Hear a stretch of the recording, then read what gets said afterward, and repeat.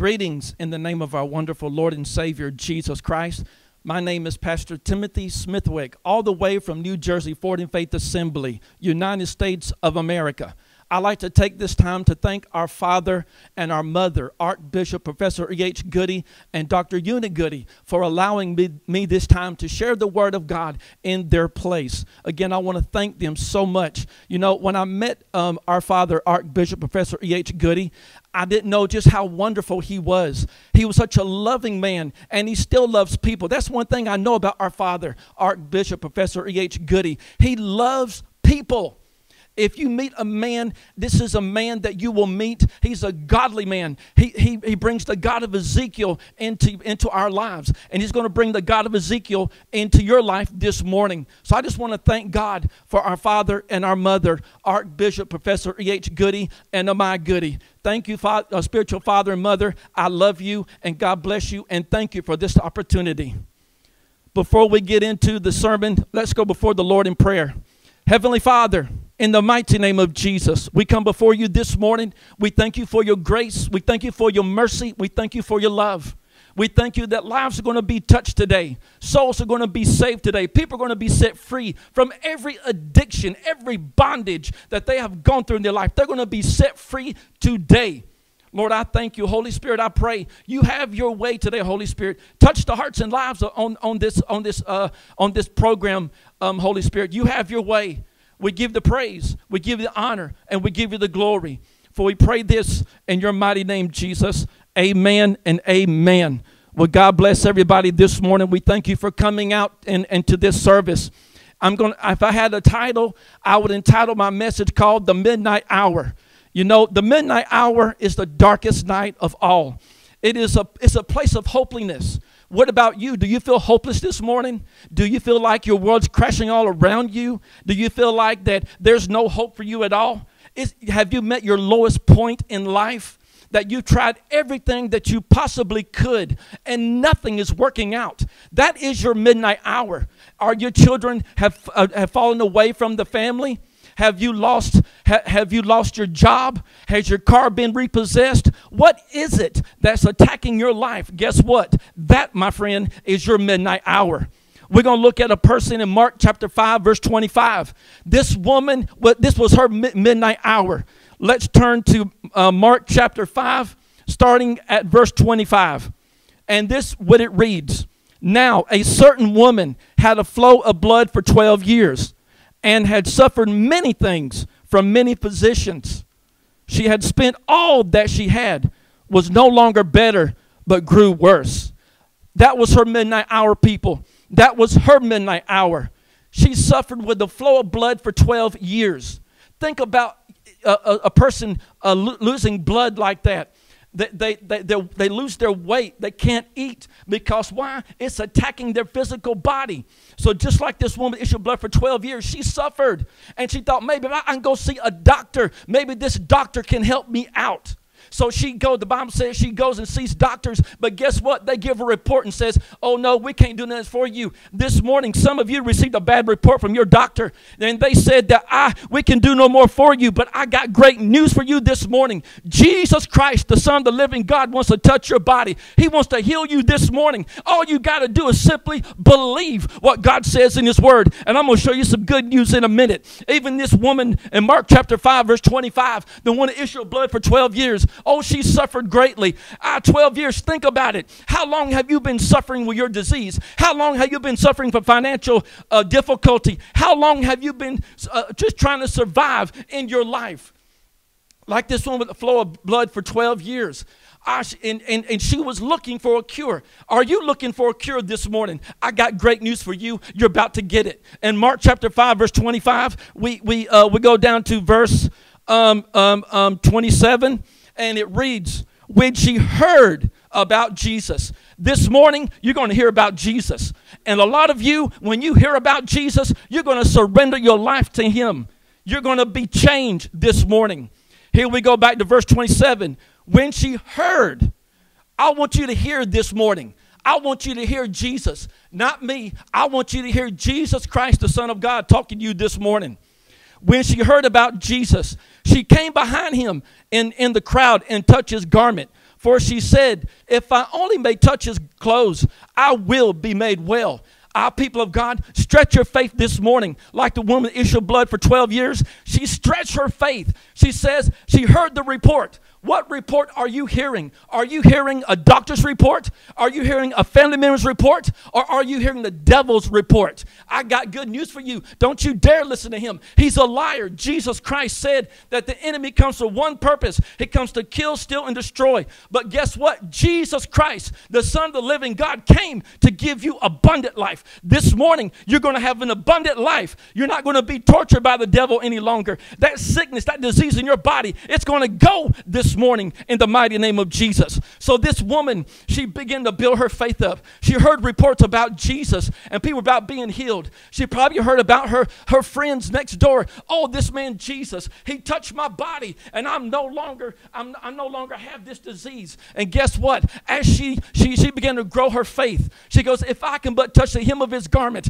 And when you think about somebody's garment, it's very tiny. It's not great faith. It's not great how to touch a whole garment. She says, if I can but touch the hem of his garment, I will be made whole. And if you read on, the word of God says in Mark chapter 5, going down to verse 29, immediately the fountain of her blood was dried up, and she felt in her body that she, ha- that she was healed of the affliction. Let me tell you, when God heals your body, it is immediately, it is suddenly, just like on the day of Pentecost. The, the, that day, they were all together in one accord. They were assembled together. They were waiting for the promise of the Father. And then guess what? The Bible says in, in, in Acts chapter 2, verse 1, it says, And suddenly, a lot of you this morning, you're going to get your suddenly today. If you'll just only believe what the Word of God says, don't take my word for it. You believe what the Word of God says. And as you believe, you receive your healing, you receive your financial breakthrough. What is it? What is your midnight hour? Ah, just like the woman issued blood for 12 years. Guess what? Even though she suffered, she heard the report about Jesus. After she heard, she built her faith up. I want you to build your faith up this morning. I want you to say to yourself, I know that Jesus Christ can heal my body. I know that Jesus Christ wants me healed. For the Bible says that is by his stripes you are healed. So the word of God already declares over your life. So I want to encourage you this morning, reach out your faith, just like that woman issued blood for 12 years. She reached out and she touched the hem of his garment. I want you to do the same thing this morning, people of God. As we continue on the midnight hour, Remember what I said earlier the midnight hour, it is the darkest, it is the most gloomiest part of the night. It is that night where all hope seems to be lost. That there seems to be no, no, no, no cure for whatever that you and I are going through.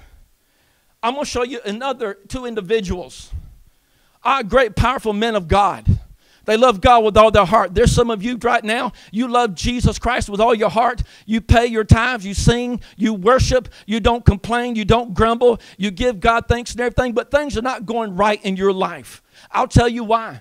The reason why things are not going right in your life, because when you begin to lift up the name of Jesus Christ, the enemy hears that, and he doesn't want the name of Jesus to be lifted up. So I want to encourage you. We're about to see two people this morning we're going to see two people in the book of Acts. There was in their midnight hour, but oh, their midnight hour, even though it was long and gloomy and dark, oh, but what God used them to do, I, let me get to that reading. We read them in Acts chapter 16, starting at verse 16. It says, Now it happened as we went to prayer that a certain slave girl possessed with the spirit of divination met us, who brought her masters much profit by fortune telling.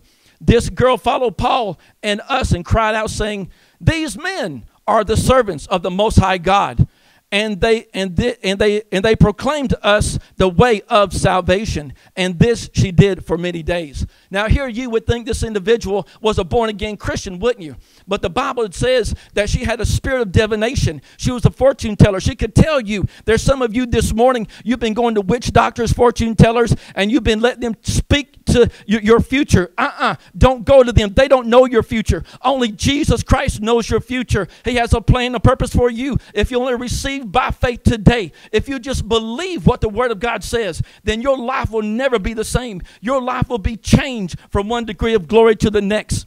So she begins to proclaim, These men are the servants of the Most High God. These men are servants of the Most High God. And she did this for many days. And the Bible says right here in, in, uh, in, in, in verse 18, But Paul, greatly annoyed, the devil is annoying a lot of you this morning. How long are you going to let the enemy annoy you? Look what happened when Paul the apostle and Silas what they did.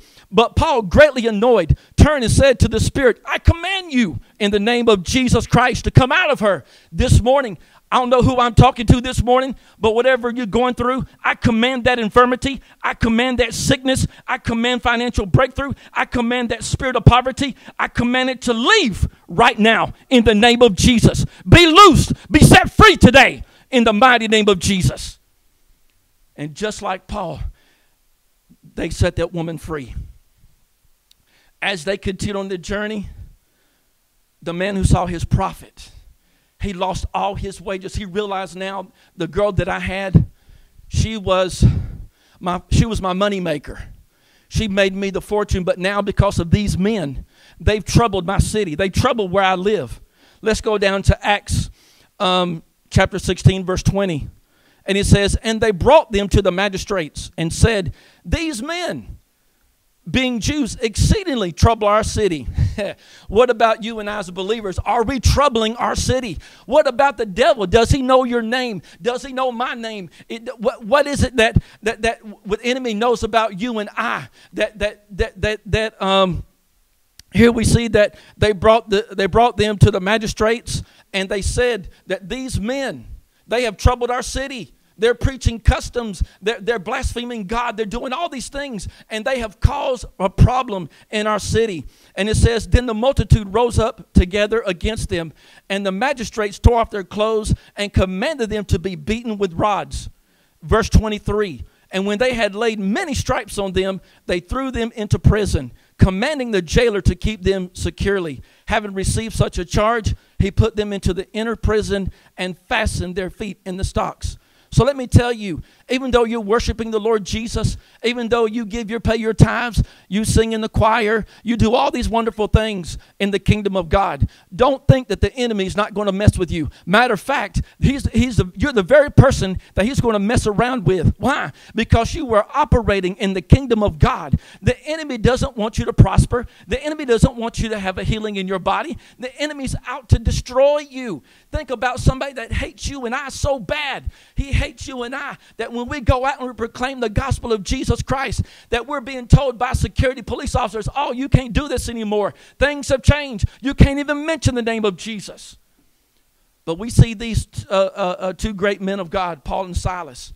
They were beaten with rods. Put yourself in their shoes this morning. They were beaten with rods. How about you and I? What would we do if they took us to jail and they beat us and threw us in the jail? How will, how will we react to that? I'm about to show you what Paul and Silas did.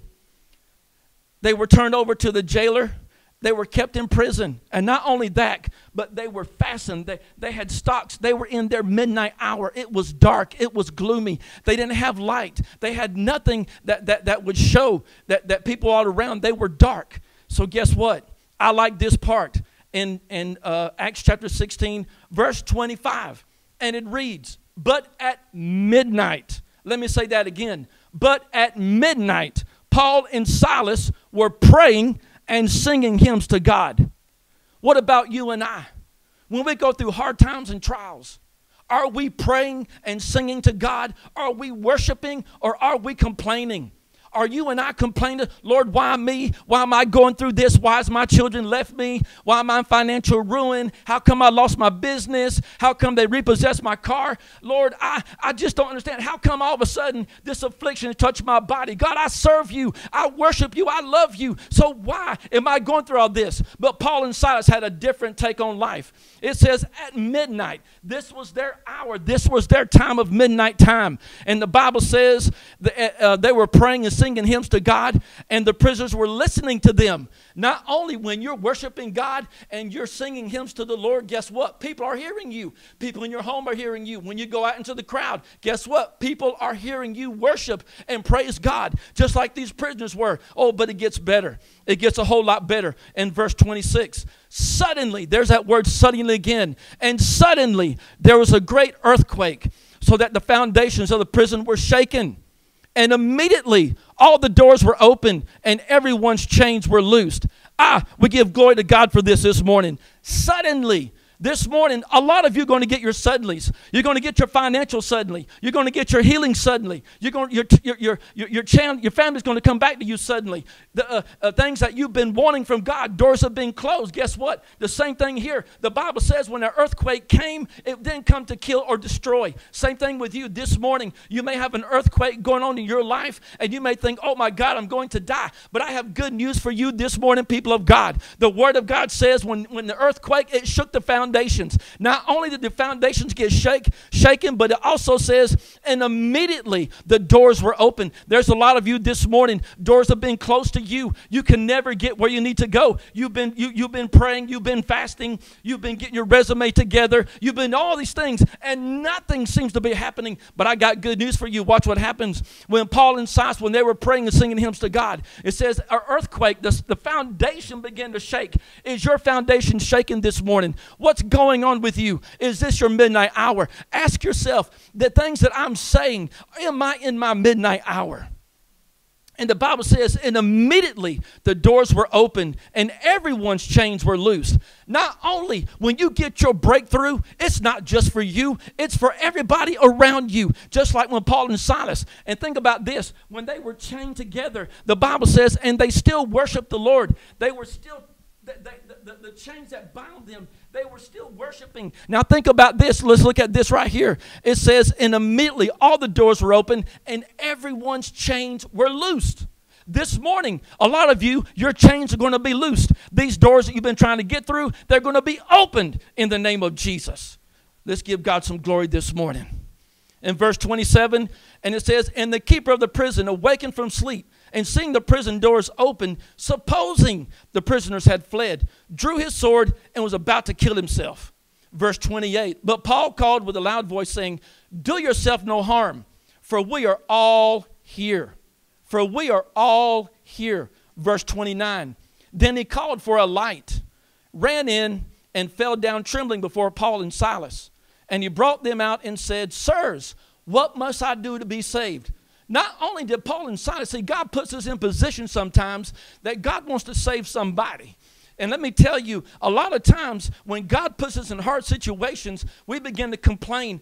Ah, let me tell you, people of God, that's not the time because God has a purpose and a plan for everything because we, we serve a good God. We serve a God that is merciful. God's merciful to you this morning. You are alive today. You can see, you can breathe, you can hear. You got clothes on your back. You got a home to live in. You got food on the table. You have money in your pocket. You have a family. You have life. God's giving you abundant life. And thank Jesus for that. But when God puts us in different positions in life, situations, trials, and tribulations, don't think it's strange. As we heard, it says when, when the chains were loosed and the doors were open, the guard was about to kill himself. There's a lot of you this morning, you've been thinking about committing suicide. I come against that spirit right now in the name of Jesus, that it will not take your life. It's not your time. God has a purpose and a plan for you. So don't you dare believe that lie. He's a father of lies. Even Jesus said that he's a father of lies. He can't tell the truth. So when he tells you you're not going to make it in life, you're always going to be sinning, you're always going to be doing this, you're going to be like your mom, your dad, your grandpa, your uncle, your nephew, that's a lie. Remember, he cannot tell the truth. He's a father of lies. So, a lot of you this morning, I come against that spirit of suicide. I come against that mind binding spirit, and I command it to go. I command it to release its tentacles off your head, off your soul, off your mind, off your spirit in the name of Jesus. And I decree and declare healing in your body, healing in your soul, the peace of God that flows to your body in the mighty name of Jesus. So, as they continued, the Bible says the guard about to kill himself. But Paul says, don't do yourself no harm. We're all here. We ain't gone anywhere. And you know what? The guard saw this. Remember, when, when, when a guard was given strict orders that you're supposed to watch these prisoners, not one is to escape. Because if one escaped, you were to take yourself and kill yourself with the sword. Why? Because if you didn't, then the higher ups, the authorities, would have done it for you. So that's why they, they, they programmed them, just like the world's being programmed today. We got to program our minds to think differently. We have to think the way God thinks, not the way, not way the world programs you and I. The world has had a, you know, a programming from the world is enough. We need to read the Word of God. We need to pray. We need to seek the face of God even more as we see the days approaching. But we go back and it says, and he ran in with the light, and he came. He was trembling. Oh, he was in. He, he couldn't believe it. He, he's like, wow, you know, th- they're still here, so I don't have to kill myself. And the Bible says, he, and he came in trembling, and he says, Sirs, what must I do to be saved? Verse 31. So they said, Believe on the Lord Jesus Christ, and you will be saved, you and your household. I'm talking to somebody this morning. Matter of fact, I'm talking to families right now this morning. What must you do to be saved? You're asking that question. You've been thinking this question for a very long time. You've been asking yourself, What must I do to be saved? And here's the cure right here in verse 31 and they said, Believe on the Lord Jesus Christ, and you will be saved. Let me ask you a question Have you put your faith and trust in Jesus Christ? Uh, do you believe in Jesus Christ? I'm going to lead you in a sinner's prayer later on in, in, this broadcast. But I want you to know that Jesus Christ loves you. He loves you with an unconditional love. He died for you, He shed His blood for your sins. Think about it. In the book of Genesis in the garden, when Adam, when he transgressed out of disobedience, death came upon all mankind. But the Word of God also declares because of one man's obedience, righteousness will be given to everybody. So this morning, when you give your, your heart to the Lord Jesus Christ, God's going to take your unrighteousness and He's going to impute His righteousness into your life. Then, once he does that, now you have access into the very presence of God. Why, you say? Because of the blood of Jesus Christ. It covers you, it is his covering over your life. It is his covering to protect you from things in this world. But not only that, but now you are declared righteous. That means you go before the Father without any sense of guilt, without any sense of inferiority. You can go before the Father and say, Father, I thank you through the blood of your Son, Jesus Christ, that he died for me. Oh, I'm, i want you to pray this prayer, people of God, this morning as we get to that point. But here we say, it says, believe on the Lord Jesus Christ and you will be saved. Hallelujah. Thank you, Jesus. Thank you, Jesus. Now we're going to see another individual who faced his midnight hour. And let me tell you, midnight hours, they're not fun because you feel like that, what am I going to do? My child has ran away. My financial situation's getting worse. This illness, this sickness in my body is getting worse. I'm popping pills. I'm going to see doctors. They're running all these tests on me, but yet nothing is changing. Why? Why is nothing changing? Oh, we're about to find out this morning. We go to uh, Joseph. Um, he faced his midnight hour. In Genesis chapter 37, we read about uh, um, how Joseph, he was favored. He was favored by his father. There's a lot of you this morning. God is favoring you. God is going to favor you. When you go to places, God is going to bless and favor you beyond your wildest dreams, beyond your wildest imagination. So just begin to receive from the Lord this morning. Receive that favor. Say, Lord Jesus, I receive the favor of God on my life. So here's Joseph. He has dreams. God is showing him dreams. Ah, let me tell you, God is showing a lot of you people dreams this morning. God is giving you inspiration. God is giving you business ideas. God has done all these things and He's giving you a dream. But what God doesn't show you is going to get you to that point. And just like Joseph, Joseph was showed all these wonderful dreams, showed him how he's going to be a, a prime minister and all these things. But guess what? Joseph did not realize what he was about to go through. So we read in Genesis chapter 37, and I just kind of laid the foundation here, starting in verse 16. The father sends uh, Joseph to, to, to, to, the, uh, to his brothers.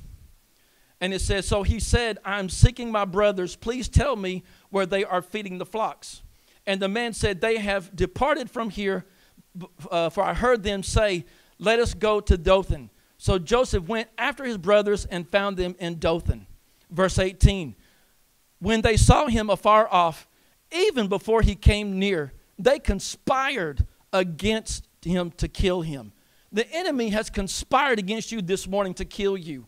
And he has tried. He's tried through car accidents. He's tried through drugs. He's tried through alcohol. He's tried through um, severe beatings. I mean, I mean, whatever it is, the enemy has tried to take you out. Why? Because you are a threat to the uh, uh, to the kingdom of darkness.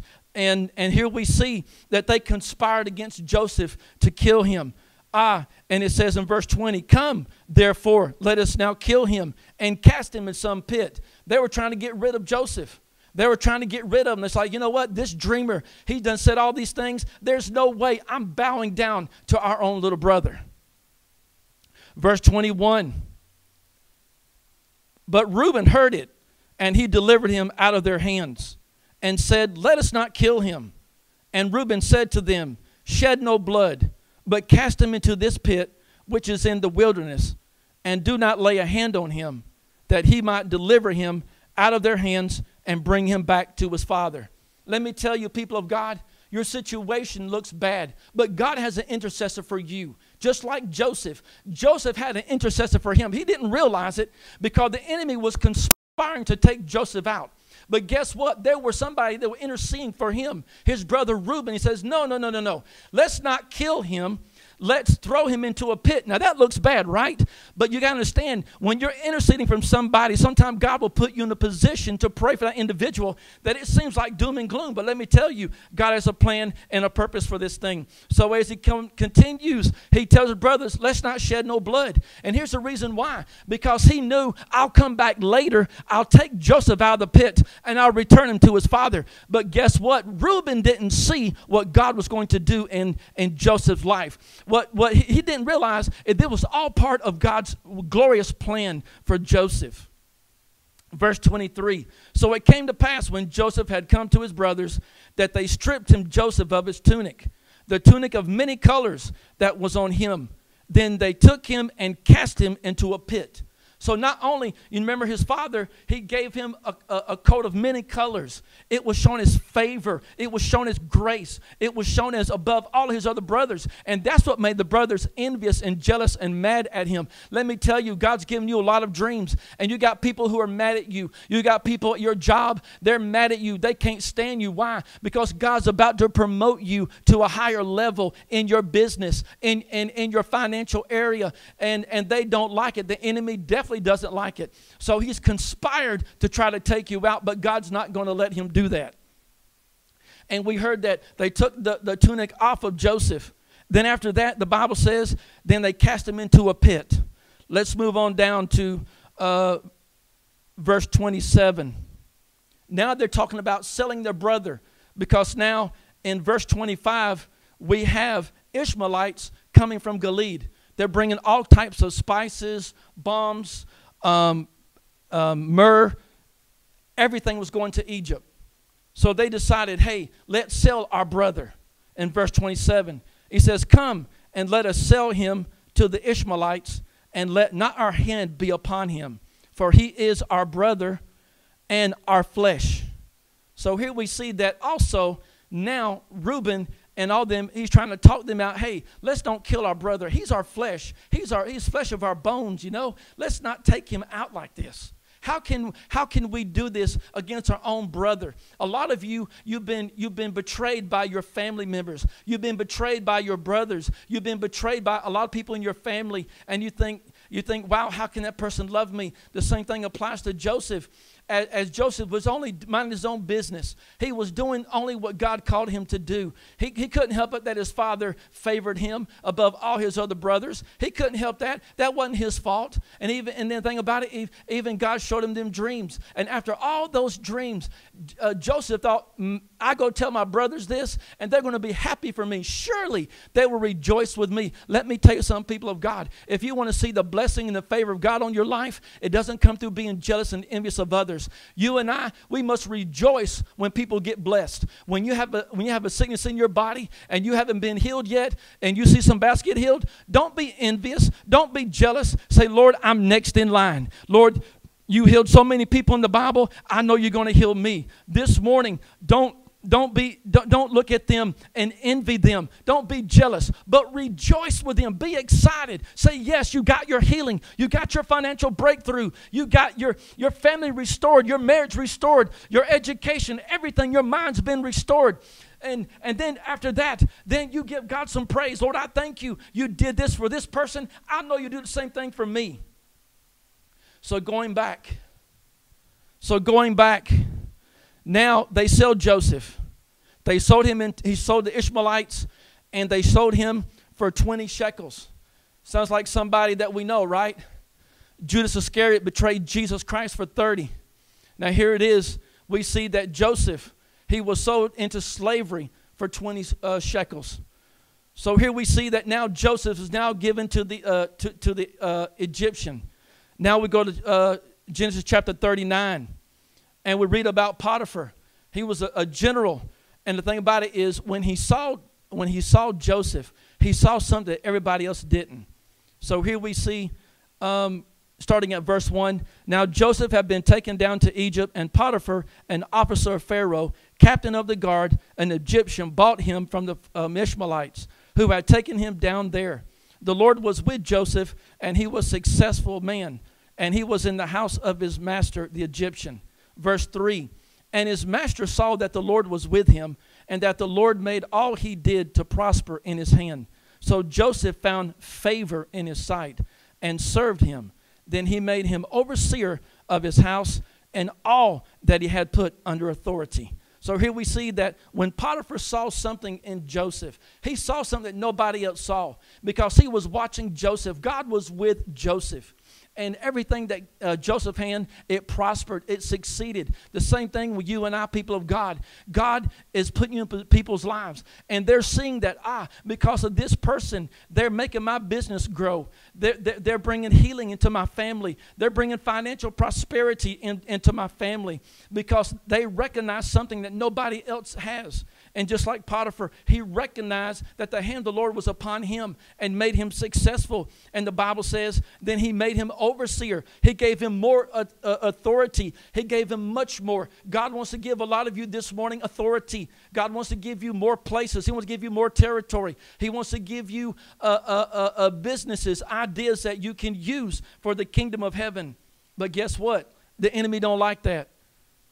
So after that, in verse 7, the enemy always creeping around your blessing. Don't get it wrong. When the blessing of God comes on your life, when it's trying to get to you, the enemy wants to steal that. Remember, he's a thief. He comes to kill, steal, and destroy. In verse 7, and it came to pass after these things that that his master's wife cast longing eyes on Joseph, and she said, Lie with me. And Potiphar's wife did this for many times. Many, many, many, many times. She was trying to get Joseph to compromise.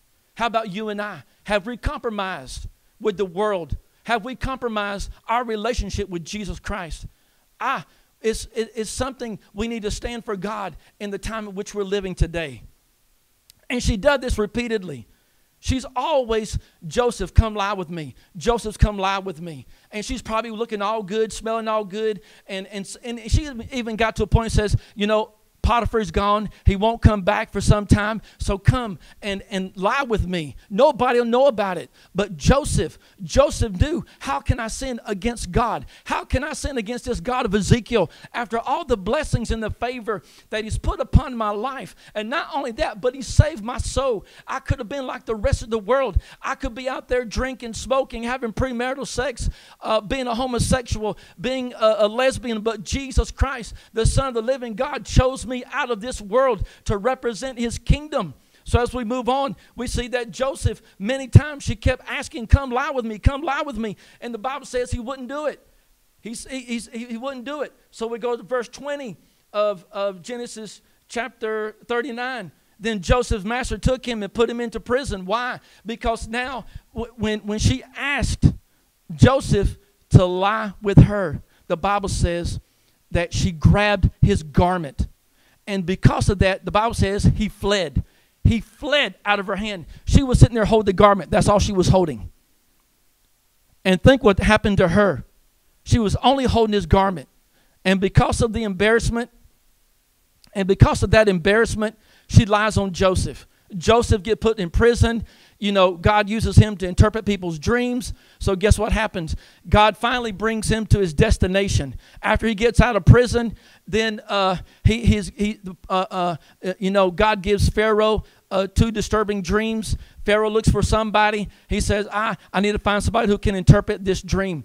As he continued, they said, There's a man we know here. Name is Joseph uh, as Joseph was coming to Pharaoh, he got himself all spruced up, ready to go. And jo- and and and uh, and and King Pharaoh asked him, you know, what should we do about this? And then Joseph began to tell him, this is what we need to do. This is the wisdom. So also here we go. I'm I'm I'm trying to wrap up uh, really quickly here, but it says in verse 37 of chapter 41 it says, And Pharaoh said to his servants, Can we find such a one as this, a man in whom the Spirit of God?